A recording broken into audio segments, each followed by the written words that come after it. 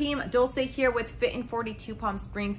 Today I'm going to talk about perfectionism and about patience.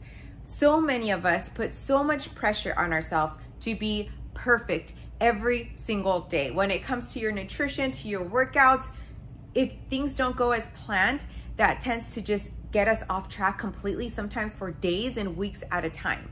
And let me tell you something, I am never 100% perfect all the time with my nutrition. I am not 100% perfect all the time with the workouts. And instead of dwelling on these little mistakes that we make, if we just move on, uh, we can make so much more progress. But what happens is when we fall off track, let's say uh, uh, off of our meal plan, we dwell on it, we create, we make it a cheat day instead of just that one meal that we had because hey, we messed up, you know, might as well just throw in the towel for that day or we wait till the next Monday.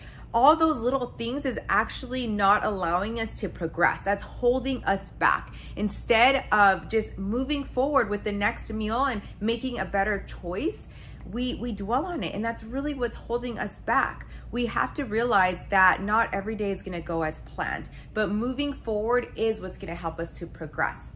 And when it comes to patience, you a lot of us don't get the progress that we expect within a week or two with following a meal plan but you did not get to the point where you are now with your nutrition with your weight overnight right? You you it took maybe years of you eating unhealthy and not working out not being active to get to where you are right now. So you have to be patient with yourself. You have to put in the work. And even if you don't see progress on the scale, know that progress is happening. You just have to stick with it and eventually you'll be able to get to your goal. So remember guys, be patient with yourself with your fitness journey and focus on the small wins and ask yourself, where could I have gone better? Instead of just throwing the towel and trying to be perfect, ask yourself where every day, where could I have gone uh, done better in order to progress? So guys, focus on the little steps